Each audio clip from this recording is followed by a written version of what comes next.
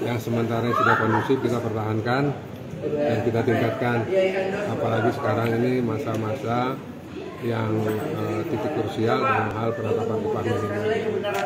Kita diberi waktu untuk provinsi sampai tanggal 21 November dan UMK Kabupaten Kota sampai 30 November. Kita berharap bisa mengakomodir kepentingan pengusaha, kepentingan serikat pekerja untuk menjaga kondusivitas hubungan industri di Banten.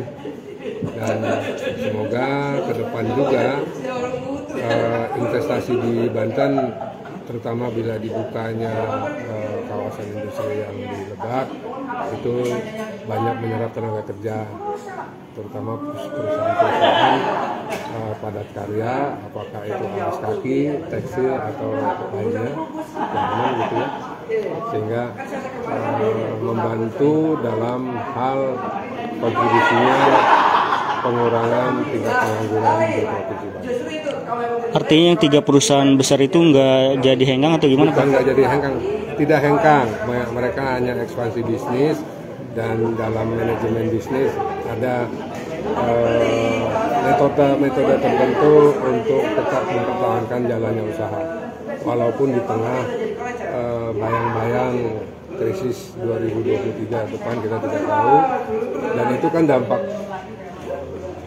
global dampak dari kondisi global yang mau tidak mau kita akan berdampak. Cuman kita berupaya agar dampak itu seminim mungkin terkena di Indonesia di pihak lain juga kewajiban semua stakeholder baik pemerintah masyarakat pengusaha pekerja uh, maupun akademisi untuk kita membuat satu gebrakan suatu kegiatan yang menumbuhkan pekerja-pekerja baru dalam hal wirausaha industri kreatif sehingga itu membantu kita juga untuk mengurangi tingkat pengangguran terbuka juga.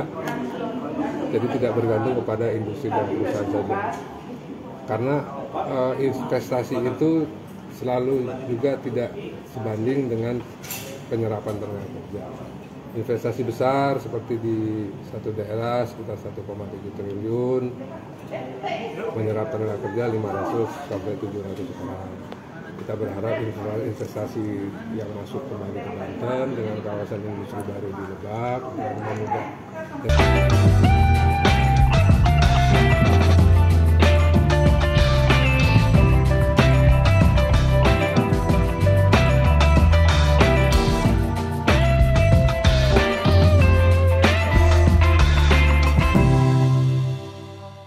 Terima kasih sudah nonton.